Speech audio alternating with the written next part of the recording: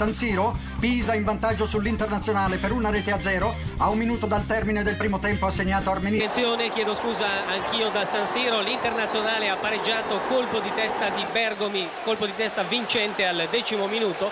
Quindi Internazionale 1, Pisa 1 a te Sandro. Al termine, chi deve intervenire? Interviene San Siro perché l'Internazionale si è portata in vantaggio 2-1. Il gol lo ha segnato Rumenig di testa su assist di Bredi. A te Roberto. Attenzione Ameri qui da Milano Internazionale Internazionale 3 Pisa 1 ancora Rumenig con un gran tiro su passaggio di Marangon